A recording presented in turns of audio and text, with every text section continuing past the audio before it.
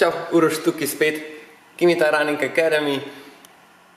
A je raztezanje na koncu teka res zelo pomembna stvar in še bolj pomembno vprašanje, ali vas bo raztezanje na koncu teka res šlo tistega muskelfibra, ki imate, ki ga čutite drug dan. Da kar tako odgovorim na tisto drugo vprašanje, ne, ne bo vas rešlo, če ste muskelfiber med tekom predelali, vas raztezanje ne bo pred tem prav nič rešilo.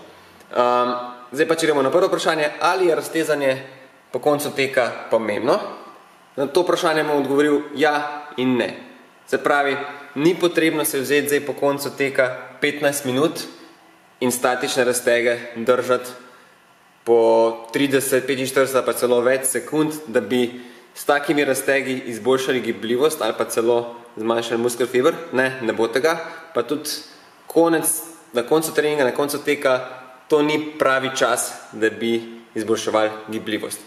Zato na koncu teka raje poskrbite, da naredite par statičnih razteznih vaj za tiste mišične skupine, ki so najbolj delale pri teku. Se pravi, par statičnih razteznih vaj, ki jih držite po 10 sekund za meča, za sprednje stegenske mišice, mogoče za zadnje stegenske in pa za zadnico, To naj vam vzame 2-3 minute, predvsem pa je tako raztezanje namenjeno psihofizični sprostitvi na koncu tega in da na ta način lepo zaključite svoj trening.